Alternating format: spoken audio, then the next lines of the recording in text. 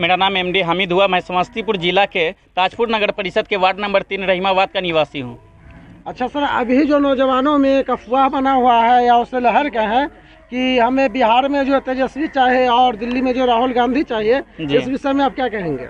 मैं कहना ये चाहता हूँ कि कोई भी पार्टी हो चाहे वो बीजेपी की पार्टी हो या आरजेडी की पार्टी हो या जदयू की पार्टी हो या कोई भी पार्टी हो, कोई पार्टी का झंडा ढोने से या कुछ भी करने से हमको कुछ दे नहीं देता है। अपने हक के लिए खुद लड़ना पड़ता है।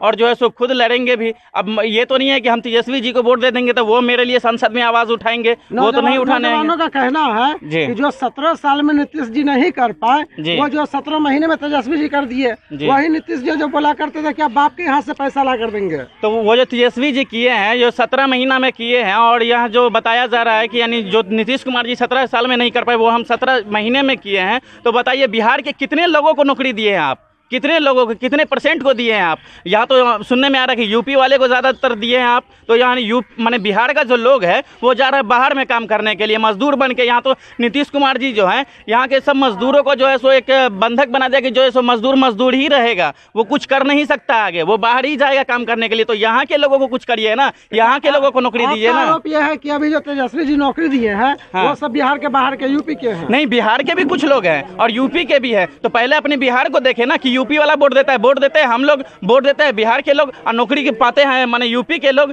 तो माने पहले यूपी में तो आदित्यनाथ योगी जी हैं, बैठे हुए, वो देंगे ना नौकरी, बिहार में आप है तो आप दीजिए बिहारी लोग को नौकरी। बिहारी क्यों जाएगा बाहर में खटने के लिए, मजदूरी करने के लिए, वहाँ मारा जाता है, या उल्टा सीधा बिहारी बोल के गाली दिया जाता है तो ऐसा क्यों सुनने को मिलता है? जब आप है यहाँ के सरकार तो पहले बिहारी को देखिए ना आप। अच्छा अभी जो है, एक लहर चल रहा है युवाओं में, खास करके कि जो राम को लाए उनको हम लाएँगे। देखिए, मैं सबसे पहले ये कहना चाहता हूँ कि राम हो गया या भगवान हो गया या कोई भी भगवान हो गए तो राम को जो है वो मोदी जी लाए हैं या मोदी जी को राम जी लाए हैं? पहले हमको ये इसका जवाब दीजिए। राम जी मैंने जो है, सो वो सबके है ना? तो जो है, सो मैंने मोदी जी कैसे लिया है वो राम को? राम से पहले आए थे क्या मोदी जी?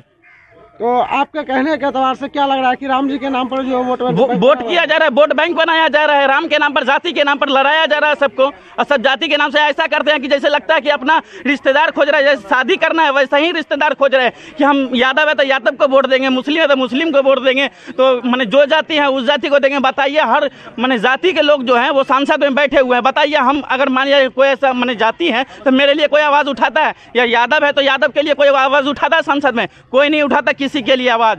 ये असदुद्दीन ओवैसी जी हैं वो मुस्लिम के लिए आवाज़ उठाते हैं और भी गैर कौमे के लिए भी आवाज़ उठाते हैं। हम लोगों के लिए कौन आवाज़ उठाता है संसद में बताइए।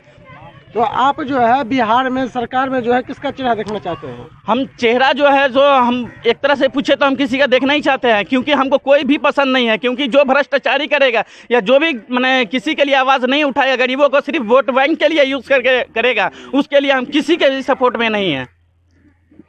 आने वाले विधानसभा में आप जो है एमआईएम से अगर कोई भी कैंडिडेट खड़े होते तो क्या आप अनुमान लगाते मैं सपोर्ट मैं सपोर्ट करूँगा फुल सपोर्ट रहेगा मेरा क्योंकि वो सांसद में मेरे लिए आवाज़ उठाते हैं। वो हर एक मुसलमान हो या हिंदू हो या कोई भी पार्टी हो या कोई भी जाति धर्म हो वो नहीं देखते हैं। हर इंसान के लिए वो आवाज़ उठाते हैं हम उन्हीं को सपोर्ट करेंगे। ये भी आरोप लगाया जा रहा है कि एमआई पार्टी से जो भी टिकट मिलता है मुसलमान कैंडिडेट को मिलता है। कहाँ पे मिलता है बता दीजिए। ये आपके मुख्यमंत्री है, वो भी मैंने उधर ये मुसलमान में कौन है बता दीजिए आप। कोई भी नहीं है। प्रधानमंत्री तो खैर मुसलमान बन ही नहीं सकता है कभी, लेकिन मुख्यमंत्री हो गया या सांसद हो गया या विधायक हो गया या कोई भी हो गया, बन तो सकता है ना। लेकिन बताइए मुसलमान में कौन है? धन्यवाद।